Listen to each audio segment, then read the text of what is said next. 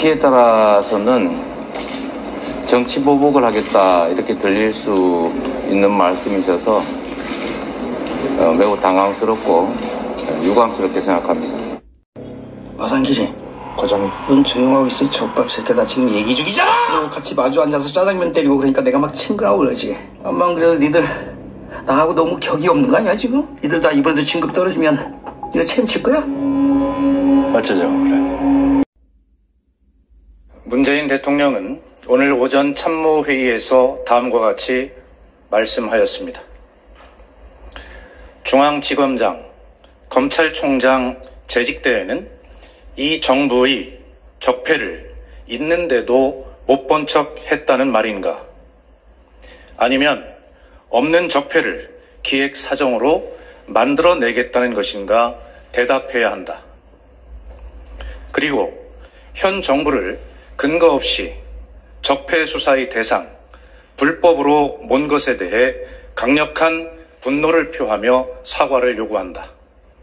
대검하고 서울지검 앞에 뭐 수만 명, 뭐 얼마나 되는 인원인지 모르겠는데 하여튼 소위 말하는 특정 그 민주당과 연계된 사람들을 다 모아가지고 거의 뭐 검찰을 상대로 협박을 했습니다. 어?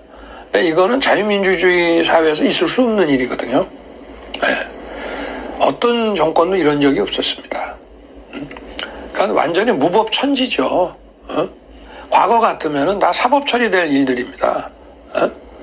근데 정말 이 정권이 든든하게 뒷배가 돼줘서 그런지 주들 마음대로 해요. 어?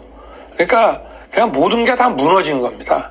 지금 뭐 공수처 하는 거 보세요. 정권의 하수인이고 비윤리적인 저런 짓은요. 실력이 없기 때문에 나오는 짓이지 저기에 대한민국 최고의 전문가들이 있으면 자기들의 자부심과 기본적인 기초적인 윤리가 있어요. 그래서 하수인으로 만들 때는 아주 실력 없는 놈들 출세시켜 가지고 갖다 놓으면 완전히 100% 충성하는 그런 아주 어? 비윤리적인 하수인이 되는 거죠.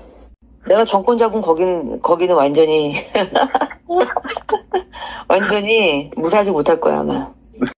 너무 좋아하지 마시고 홍준표 의원의 말씀을 꼭 새겨 들으시기 바랍니다. 윤석열 후보는 절대로 대통령이 되면 안 될 사람입니다. 어차피 뭐 형 동생도 먹었겠다. 말을 그냥 이제 편하게 해도 될까요? 아이 그럼요 형님 편하게 해주세요 형님 음, 아, 예. 미친놈의 새끼. 어, 왜요? 도라이 어, 왜? 새끼야, 어? 인터넷 방송인지 뭔지 그걸 찍겠다고 여기를 쳐 겨들어와? 이 새끼 도라이 새끼 아니야, 완전히. 뭐? 구독과 좋아요? 그게 네 목숨보다 좋아요? 이거 아주 정신 나간 새끼 아니고. 죄송합니다 형사님 형사님은 무슨 그냥 편하게 형이라고 부르니까.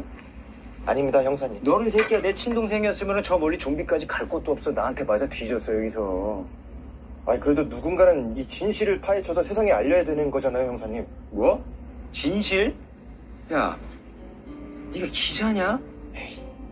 기자들이 진실 같은 거 파헤치나요? 안 하잖아요 그러니까 저 같은 사람이 나서야 되는 거죠, 영사님. 아씨, 말은 잘해요, 이씨.